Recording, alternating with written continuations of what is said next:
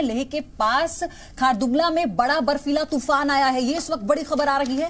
बर्फीले तूफ़ान में 10 लोग और चार गाड़ियाँ फंस गई हैं। बर्फीले तूफ़ान में फंसे लोगों को बचाने के लिए रेस्क्यू ऑपरेशन इस वक्त वहाँ पर चलाया जा रहा है।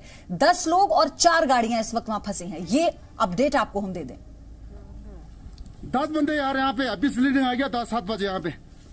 इन्ना खरू बर्फीले तूफ़ान में 10 लोगों के फंसे होने की खबर है और रेस्क्यू ऑपरेशन वहाँ पर शुरू हो चुका है। सबको बचाने की कोशिश वहाँ पर की जा रही है। लेह के पास खारदुंगला में ये बड़ा बर्फीला तूफ़ान आया है।